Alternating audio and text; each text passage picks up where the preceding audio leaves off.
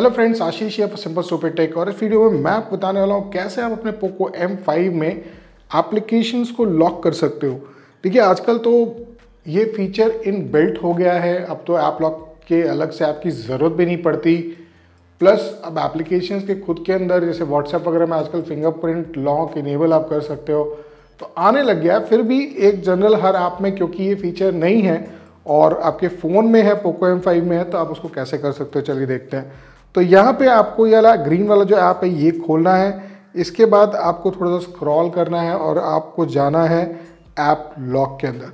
जब आप पहली बार जाओगे तो ये यहाँ पे प्राइवेसी सेटअप करने को बोलेगा। याद रखिएगा फ़ोन का पासवर्ड अलग होता है प्राइवेसी अलग होता है। तो इसको मैं टर्न ऑन करता हूँ, एक प्राइवेसी पैटर्न बनाता हूँ नेक्स्ट करता हूँ, फिर मुझे बोलेगा एमआई का अकाउंट है, उसे कनेक्ट कर लो। आप ज़रूर करिएगा इन केस अगर आप भूल जाते हो। तो आप इससे रिट्रीव कर सकते हो। क्या भूल जाते हो?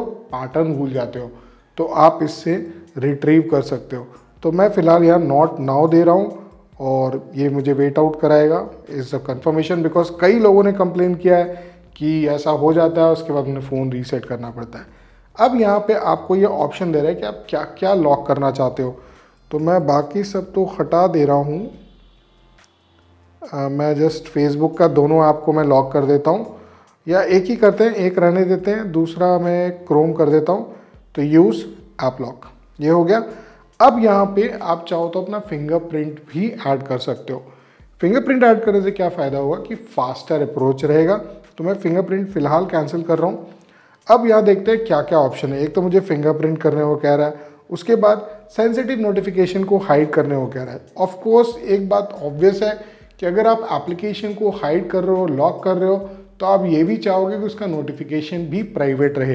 तो आप यहाँ सेट कर सकते हो कि किस ऐप का नोटिफिकेशन प्राइवेट रहेगा। तो वो आप सेट कर लो। उसके अलावा सेटिंग्स में चलो। सेटिंग्स में देखते हैं क्या क्या है। तो ऐप लॉक इनेबल डिसेबल करने का डायरेक्ट ऑप्शन है। लॉक सेटिंग्स लॉक सेटिंग्स में क्या है? कब ये एप्लीकेशन वापस लॉक हो जाएगा? एक तो होगा जब डिवाइस लॉक होता है। मोस्ट कन्वीनियंट एक होता है डिवाइस लॉक आफ्टर और आफ्टर एग्जिटिंग ऐप यानी कि आपने ऐप क्लोज कर दिया तब। ये बेटर है। जो सबसे कन्वीनियंट है वो ये है कि व्हेन डिवाइस इज़ लॉक और एक मिनट का गैप हो, यानी कि आप ऐप यूज़ नहीं किया आपने एक मिनट तक, तब वो ऑटोमेटिकली लॉक हो जाएगा। उसके बाद lock all apps super powerful कोई करता है कि नहीं करता है even I am interested to know receive recommendation बंद कर दो, इसका कोई फ़ायदा नहीं है। Pattern show unlock with fingerprint कर सकते हो फेस अनलॉक कर सकते हो। और ऐड एम अकाउंट कर सकते हो। तो चलिए, ये हो गया हमारा लॉक का सेटिंग अब हम चलते हैं होम स्क्रीन पे और यहाँ पे हम सर्च करते हैं फेसबुक का। तो हमने एक लॉक किया था, एक नहीं किया था। तो अब ये लॉन्च करते हैं। तो अगेन मुझे एमआई अकाउंट प्रॉम्प्ट कर रहा है। बट यहाँ पे मुझे ये पैटर्न मांग रहा है क्योंकि हम लोगों ने इस एप्लीकेशन को लॉक किया था। तो हमने इसको अनलॉक कर दिया। अच्छा अब हम लॉक करते हैं। फ़ोन अनलॉक किया था, अब इसको अनलॉक किया। फेसबुक पे जाते हैं। अब ये मांग रहा है तो एक बार सेटिंग रीविज़िट करते हैं। तो अब हम जाएँगे वापस उस ऐप में जहाँ हमने सेटिंग किया था। ऐप लॉक में जाएँगे प्राइवेसी पासवर्ड देंगे। इसको मैं कैंसिल कर रहा हूँ, और फेसबुक को हम लोगों ने किया था।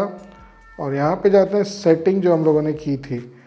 When device is locked और one minute after exiting the app. तो one minute after exiting the app close का कोई फंडा नहीं है। तो अगर आपने क्लोज कर दिया और उसके बाद एक मिनट के बाद ही वो लॉक होगा, इसीलिए ये काम नहीं कर रहा था।